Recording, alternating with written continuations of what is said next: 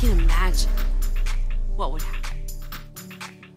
You know, when I started thinking about this question that Jesus asked, it got me thinking about another question, which is uh, what if? Like, what if we did this? what if we really lived like this? Like, what if we offered what we have into the hands of God, like trusting that He's gonna be better at it?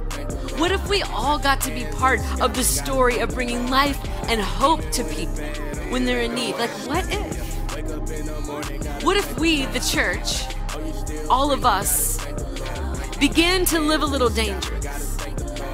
Came out from hiding behind the brush and allowed God to light a flame in us? What if? What if we began a revolution? Didn't back down from persecution, got in the business of the distribution of love, grace, mercy, that our grips would loosen. What if? What if we knew what God said? Let His word wrap around our hearts and our head more than words on a page collecting dust unread. Instead, we live like this word is alive and not dead. What if? What if our churches were thriving? People who release no depriving, no striving, more than just surviving, but rising up to give, serve, and best care, guide, to set aside our pride, to decide to abide, a place where people confide and where love is supplied and where grace will preside. Like, what if? What if you're 12, 14?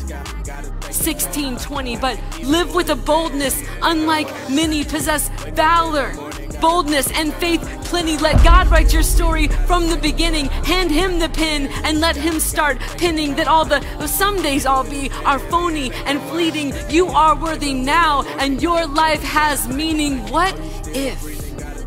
What if we unleash compassion?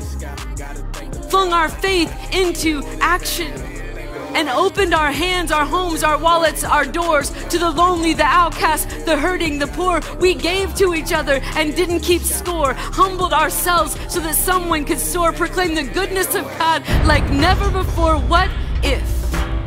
What if our what ifs were more than just words that we say? What if we didn't stray or sway or live our lives in shades of gray? What if instead today we pray, God, we're yours, have your way?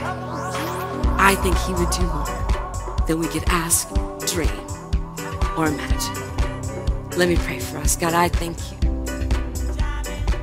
Thank you.